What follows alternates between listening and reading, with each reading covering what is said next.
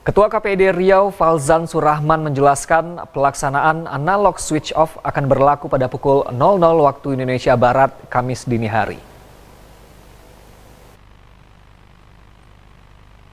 Terkait siaran TV analog switch off ke digital di Provinsi Riau akan dilaksanakan pada pukul 00.00 waktu Indonesia Barat, Kamis dini hari. KPID Riau berharap penyiaran digital sudah bisa dilaksanakan dengan baik. KPID Riau juga berharap Balmon Pekanbaru menutup sinyal TV analog dengan telah ditetapkannya 2 November 2022 sebagai hari analog switch off. Uh, yang pertama, uh, sebagaimana ketetapan Undang-Undang Cipta Kerja, ya tentu uh, tanggal 2 November itu sudah berlaku jam uh, 23.59 dari malam.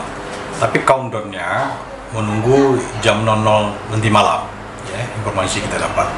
Kita berharap ya khusus Pekanbaru Kampar untuk Riau 1 itu sudah bisa dilaksanakan dan kita juga uh, rasanya optimis ya bahwa ini.